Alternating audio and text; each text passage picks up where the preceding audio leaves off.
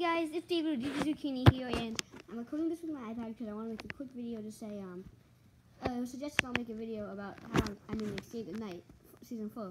And in case you didn't know, um, my boy Happy Gamer, who's like one of my friends and fans and stuff like that, yeah, he actually let me be in his uh, season 4 of Escape the Night. So yeah, you should really watch it. I'm in it. I don't know who I am yet, but it'll be after like season 1, I think you'll be able to tell. But yeah, I'm in it. I'm like, uh, I, I chose Zach because it's kind of like zucchini. It's like Zacchini, I don't know. And my friend is named Zach. And police officer, I mean, I don't, I wasn't really sure what to choose, so I just went like police officer because I want to be the detective, but like, that's, I said that like last time, so I'm gonna be the like police officer. But yeah, I can't believe I'm actually in Escape the Night. It's awesome. I like his series.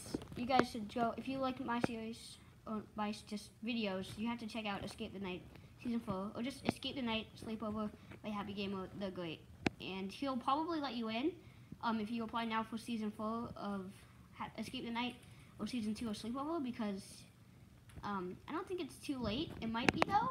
So yeah, you could, you guys should really go check it out. Goodbye.